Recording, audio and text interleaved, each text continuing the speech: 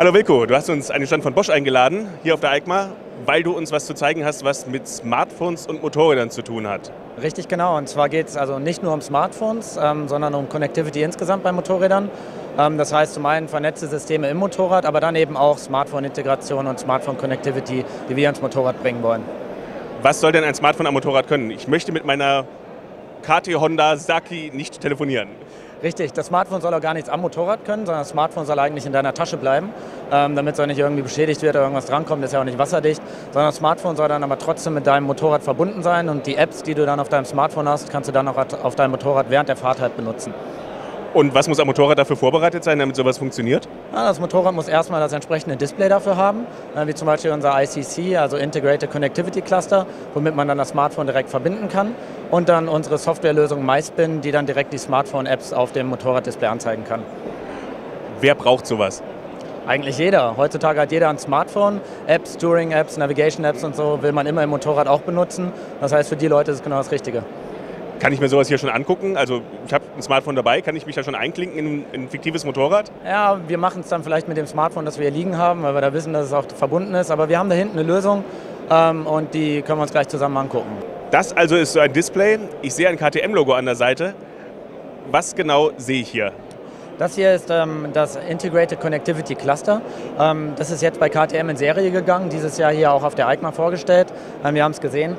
Ähm, und das ist praktisch die Grundlage für die Smartphone-Integration, über die wir ja schon gesprochen haben. Wenn man also Informationen vom Smartphone im Bike wiederhaben will, dann braucht man so ein Display. Das verbindet sich automatisch mit dem Smartphone und dort kann man dann die Apps, die man auf dem Smartphone laufen hat, auch hier ähm, im Display bedienen. Verbindet sich heißt WLAN, Bluetooth? Äh, WLAN und Bluetooth, beides ist hier drin. Ähm, die Verbindung dann über unsere MySpin-App läuft dann über WLAN. Und welche Daten können übertragen werden? Ähm, das hängt ganz davon ab, welche Apps auf dem äh, Smartphone laufen. Ähm, das Display selbst zeigt natürlich auch Daten aus dem Motorrad an, liest die Daten aus dem Campus aus und dann haben wir Apps auf dem Smartphone laufen, die dann letztendlich auch hier im Display angezeigt werden können. Und da ist es ganz ähm, davon abhängig, welche Apps du auf deinem Smartphone laufen hast. Ähm, die gibt es dann, die sind äh, MySpin-fähig. MySpin ist unsere Smartphone-Integrationslösung und diese Apps können dann entsprechend hier auf dem Display angezeigt werden.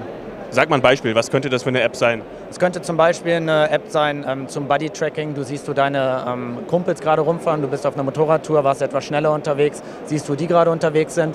Das kann eine Navigations-App sein. Spotify zum Beispiel zum Musik hören ist auch eine Möglichkeit, um es dann einzubinden. Das sind ja dann doch aus, durchaus eine Menge private Daten, die ihr da hin und her schiebt. Wie kann ich sicher sein, dass da keiner unbefugt Zugriff drauf hat?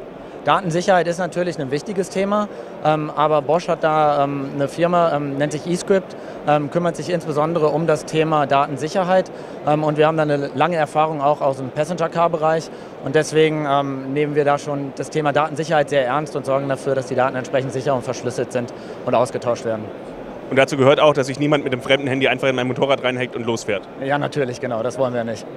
Okay, ich danke dir herzlich. Ich bin gespannt, wann ich das dann auch brauche. Ich fühle mich fast ein bisschen zu alt dafür. Hast du sowas?